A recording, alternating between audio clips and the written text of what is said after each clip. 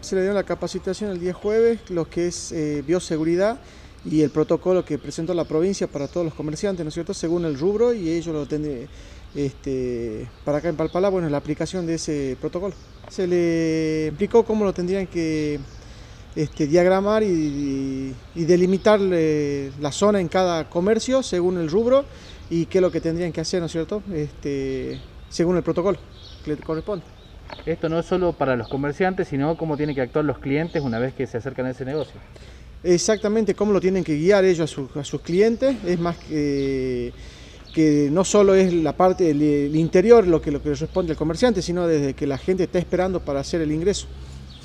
Eh, ¿Qué otra capacitación tienen diagramada? ¿Van a seguir con esta, esta modalidad para, para Y por el momento es lo único que no, de la única forma que se puede hacer por medio de forma virtual.